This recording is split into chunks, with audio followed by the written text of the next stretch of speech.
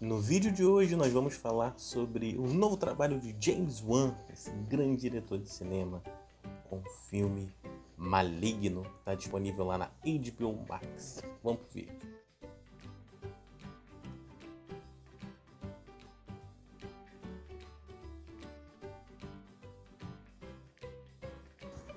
Depois de dirigir Aquaman em 2018, o cineasta malaio James Wan volta às suas origens, mexendo com o suspense e o terror, sempre com aquela instauração de um clima cheio de surpresas.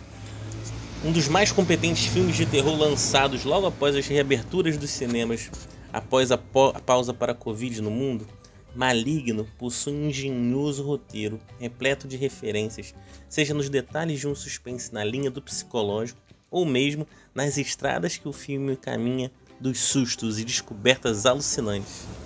O filme é protagonizado pela atriz britânica Annabelle Wallace, e o projeto deve agradar bastante a todo mundo que gosta de se surpreender e levar muito susto. Na trama, a gente conhece Madison, uma mulher que vive um relacionamento abusivo e está grávida, após diversas tentativas frustradas em ser mãe.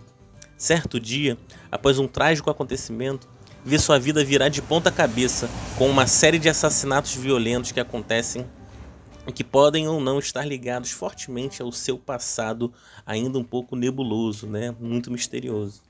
Assim, o filme navega na solução de um grande mistério que envolve a polícia, a irmã da protagonista e todo um passado escondido. É impressionante o impacto que um ótimo cineasta consegue fazer em um filme de suspense, né? Maligno, a trama toda é construída através do que achamos estarmos entendendo de todos os personagens, né? Com as emoções jogadas na tela por meio de rodopios de câmera, alcances em 360 graus, cores acinzentadas, uma composição artística sublime, onde conseguimos alcançar a profunda atmosfera desse clima de tensão, né? Onde as imagens provocam aquele efeito né, impactante dentro de tudo que a gente assiste. Isso, na verdade, obviamente, é muito mérito do grande ilusionista James Wan. Em paralelo às verdades que vão sendo mostradas, e quando acontece a linha de interseção dentro do roteiro, ficamos nas dúvidas dentro de um jogo do ping-pong entre a razão e a emoção. De qualquer forma, é um ótimo filme disponível lá na HBO Max. Se eu fosse você, eu não perdia.